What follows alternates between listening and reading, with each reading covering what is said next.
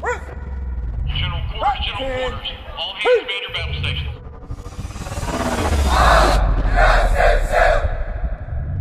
This week, I had the opportunity to travel to Naval Station Pensacola, where I covered the Manpower Personnel Training and Education Sailor of the Year Week. MPT&E Sailor of the Year Week honors the top four first-class petty officers in the MPT&E domain who have demonstrated superior performance, leadership, self-improvement, and command and community involvement throughout the year. The week began with the candidates meeting with Commander of Naval Education Training Command, Rear Admiral Kyle Cozad. After the meeting, the sailors stood aboard where each had to demonstrate their knowledge of Navy policy, history, and sailorization before a panel of board members, which consisted of master chiefs from the various MPT&E domains. Once the boards were complete, the sailors got the opportunity to travel across the Alabama state line to visit Battleship Memorial Park.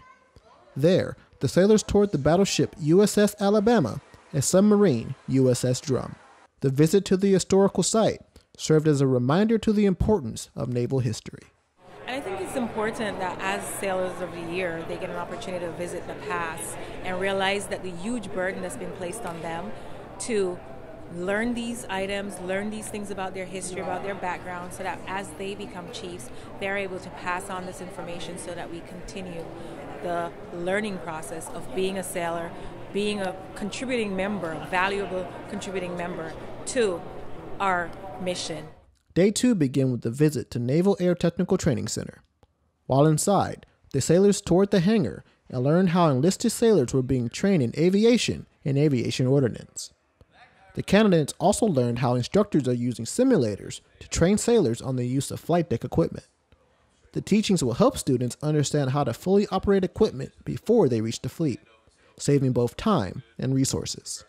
Day two continued with a tour of Navy Recruiting Operational Unit. At Noru, the candidates were able to speak with sailors and get a first hand look at how instructors are building the future of Navy recruiting. The candidates even got an opportunity to hear a few motivational chants specific to each class.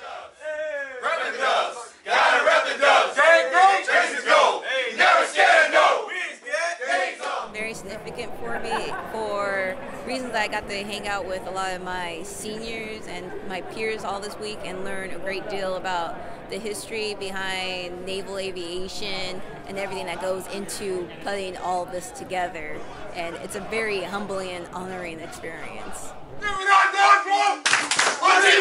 Honestly, this week has truly been just a culmination of just history, getting to know the other candidates, the history of the base, and just uh, not necessarily, I guess, would say a reward, but just a, a coming together of, of, some of the, the best and brightest uh, that the Navy has to offer. And you can also learn from, you know, the other candidates and their experiences and how they've gotten to where they are so far. So it's definitely been a great thing and a, and a, and a good humbling experience, I would say. The final day was the presentation of the winner during the MPT&E Sailor of the Year ceremony. The event hosted leadership including Rear Admiral Kyle Cozad and Chief Naval Personnel Vice Admiral Robert Burke, who served as the keynote speaker during the event. It is an absolute honor to be here. I know we ask a lot of uh, all of our sailors, but these sailors in particular, their uh, hard work, their dedication to duties, and their shipmates didn't go unnoticed. This is why they were recommended and chosen for this award. That's why they're here today. The final moment came, and CNP announced EM1 Avanice Taylor as the MPT&E Sailor of the Year. Uh, throughout my career. I'm, I'm, a product of good family upbringing, good, good family upbringing in the Navy as well, and just uh, kind of just being motivated and trying to be an inspiration to others. Taylor will now compete with sailors from across the fleet for the CNO Shore Sailor of the Year. The winner will be meritoriously advanced to the rank of Chief Petty Officer. Really, the main thing I would like to impress upon junior sailors is to, you know, take the knowledge from all the people who are who are helping you out and who are there to guide you, but you also have to, you know, find yourself and, and be the best you you can be. Each MPT&E Sailor of the Year candidate was awarded a Navy and Marine Corps Achievement Medal. For the Chief Naval Personnel, I'm MC2 LJ Burleson. Thanks for watching.